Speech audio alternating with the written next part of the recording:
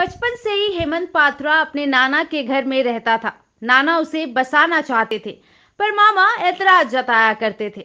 बात बात पर रोकने टोकने वाले मामा नीलकांत से चिढ़ गया था भगना हेमंत। वो कई दफ़ा अपने मामा को समझाया बुझाया भी था और बोला करता था कि, नाना की इच्छा पर ग्रहण मत लगाइए, वो जैसा चाहते हैं उन्हें करने दीजिए। हेमंत के नाना ज़मीन खरीद उसे बसाना और आगे बढ़ाना चाहते थे। जब हेमंत को लगा मामा अपनी हरकत से बाज नहीं आएँगे, तब उसने खतरनाक इरादा बना लिया और उसने कांटा बने मामा का मर्डर कर नाले में फेंक दिया। बीते 10 जुलाई को मामा नीलकांत की डेड बॉडी पुलिस ने बरामद की थी। उनकी लाश जमशेदपुर कोवाली थाना क्षेत्र के बड़ा भाल की जामदा गाँव के बरसाती नाले में पाई गई थी। तब पुलिस को कुछ भी समझ नहीं आया कि नीलकांत की हत्या किसने और क्यों की है। जमशेदपुर के पुलिस कप्तान डॉक्टर तमिल वाण ने स्पेशल टीम का गठन किया।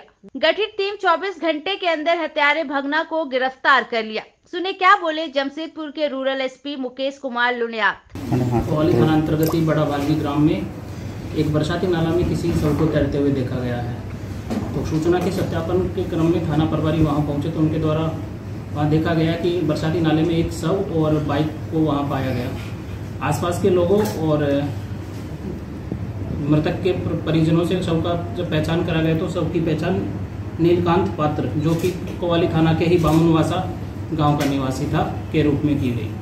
टीम के द्वारा 24 घंटे के अंदर ही कांड का उद्भेदन किया गया तथा हत्या के आरोप में मृतक के ही भांजे सरायकला खरसावा के राजनगर निवासी हेमंत पात्रा को गिरफ़्तार किया गया तथा इनकी निशानदेही पर घटना को पारित करने में प्रयुक्त पत्थर उसके द्वारा जो पहने हुए कपड़े शराब की बोतल और एक जो इस बाइक को बरामद किया। जो इसमें जो अभियुक्त है हेमंत पात्रा वह बचपन से ही अपने ननिहाल में रहता था। तो इनके इनके नाना इनको वहीं पे ज़मीन देकर बसाना चाहते थे। परंतु मृतक के मामा नीलकांत पात्रा इस बात से असहमत थे। इन, इनके बीच में पूर्व में भी इस चीज़ को लेकर बराबर मारपीट और झगड़ा होते रहा है।